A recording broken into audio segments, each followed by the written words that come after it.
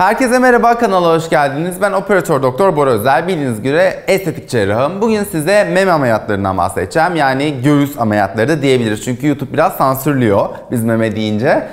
Ee, şöyle hem küçültmeden hem büyütmeden hem de dikleştirmeden bahsedeceğim.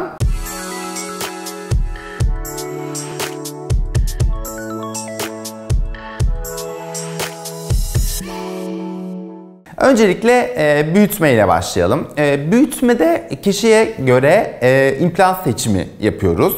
Genelde bir gece hastanede kalmanızı istiyoruz ameliyattan sonra. E, eğer dümdüzse ve erkek gibi ise hiçbir meme e, cebi yoksa o zaman kasın altına koymak gerekiyor bu e, silikonları. E, ama bir şekilde cep varsa o zaman kas üstü yani fasyanın altına ya da meme dokusu altına gibi değişik planlarımız var. Bazen de dual plan dediğimiz bir kısmı kas altında bir kısmı da kasın üstünde olacak şekilde meme protezlerini yerleştiriyoruz.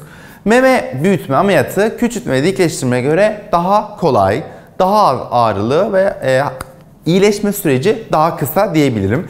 Genelde toplumda daha yanlış biliniyor, daha ağrılı olarak biliniyor. Hayır, bu bilgi yanlıştır. Tamamen size net bir şekilde söylüyorum. Meme büyütme ameliyatları küçültmeye göre çok daha kolay. Hem de e, daha az kanıyor e, ve e, daha hızlı bir şekilde hasta ayağa kalkıp işlerine ya da işine geri dönebiliyor. Ee, dediğimiz gibi memeye ben yağ enjeksiyonu ya da işte değişik dolgu maddeleriyle büyütme işlemini kesinlikle önermiyorum. Dolgu işlemleri çok e, mantıksız çünkü meme dokusuna zarar veriyorlar. Yağ dokusu da e, içerisinde kök hücreler olduğu için oradaki e, kanser başlangıcı ya da kansere dönüşme potansiyeli olan hücreleri uyarıp onları e, kansere dönüştürme potansiyeli olduğu için e, açıkçası benim pratiğimde memeye yağ enjeksiyonu yok. Sadece silikon koyuyorum. E, bugün de size şöyle e, silikonlar getirdim. Şöyle bakıldığında şöyle yavaşça çevireyim. Bunun e, anatomik yapıla yani damla silikon olduğunu görüyorsunuz. E, damla silikonlar daha doğal olsun isteyenlerde ve de memenin üst polü e, dolu olanlarda tercih ettiğimiz bir silikon çeşidi. E, bir de yuvarlak silikonlar var. Hemen onu da göstereyim. Yuvarlak silikonda gördüğünüz gibi her tarafı aynı şekilde. E, bazen bunların full projeksiyonu olanları var. Yani bunun içerisinde tamamen dolu olan protezler var. Şöyle ikisini de yan yana koyayım. Bu damla, bu e, yuvarlak. Yuvarlakta da full projeksiyon olan yani içi tamamen dolu olanlar da mevcut. Ee, bir de size bir tane e, silikon kestim. E, silikon yapısıyla ilgili e, göstermek istiyorum şu şekilde. Yani silikon delinirse, patlarsa kesinlikle bu şekilde e, dokuya e, bulaşmıyor ve çıkartılması çok kolay oluyor. Ama yeni yapılan silikonların e, patlamaya karşı yani delinmeye karşı çok inanılmaz bir direnci var ve çok sağlamlar. E, bu yüzden de artık 10 yılda bir değiştirilmesi gerekmiyor. E, konulan protez tabii ki de markası çok önemli. E, ben daha çok Amerika e, bazlı e, meme protezlerini kullanıyorum. E, ömür boyu kalabiliyor ve hatta firma size ömür boyu garanti verebiliyor bu patlamaları, delinmelere karşı.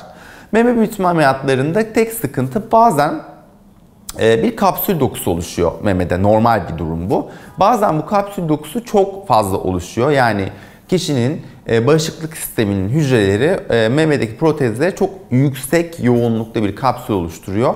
Bu da e, memede ağrı ya da protezde sertleşme gibi bulgulara neden olabiliyor.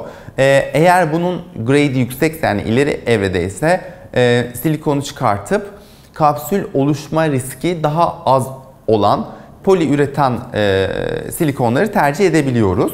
E, poliüretanlar da aslında bir silikon çeşidi ama biraz daha e, maliyeti yüksek e, bir silikonlar. Böyle kapsül reaksiyonu, kapsül dokusu oluşan hastalarda poliüretan tercih edebiliyoruz. Ama e, kişi direkt hani silikon değil de e, poliüretan e, istiyorum değil de poliüretan kullanmamız e, mevcut ama normal silikonlara göre maliyet 1,5 kat daha yüksek oluyor. Meme büyütme bu şekilde. E, meme küçültme ve meme dikleştirmeye geçelim.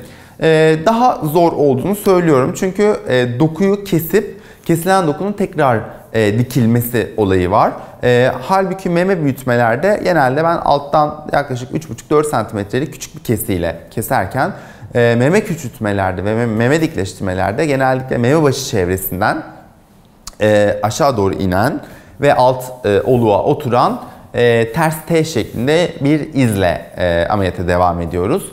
E, hani iz çok problem olmuyor ama daha çok doku kesildiği için ve doku çıkarıldığı için tabii ki de biraz daha ağrı daha fazla oluyor. Diren koyuyoruz yani içerideki kanı toplaması için. E, bu da süreci biraz zorlaştırıyor. Bazen meme başında beslenme problemleri olabiliyor memenin büyüklüğüne göre ya da yara açılma problemleri karşımıza geliyor. Yani meme küçültme ve dikleştirme büyütmeye göre bir tık daha zor dememin sebebi buradan kaynaklanıyor. Yine hastaneye yatış süresi bir gece. Ee, bir gece sonra sizi taburcu ediyoruz. Çünkü ne kadar az hastanede kalırsanız o kadar iyi oluyor. Ee, onun dışında e, işte direnleri genelde 3-4 gün sonra çekiyoruz.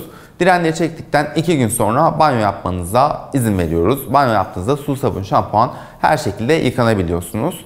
Ee, bunun dışında e, çıkan parçaları patolojiye gönderiyoruz. Çünkü bir miktar parça çıkıyor ve mutlaka bunun içerisinde bir miktar meme dokusu oluyor. Yağ dokusu ve deri ile birlikte. Meme dokunun e, hani hiçbir şüphemiz olmasa bile e, patolojik olarak incelenmesini istiyoruz. İçimiz rahat etsin. İleride e, çıkabilecek problemler için bir e, öngörü sağlamış oluyor bize bu patoloji raporu. Bazen e, de e, meme dokusunu e, azalttığımız için de meme kanseri riskini e, azaltıyoruz.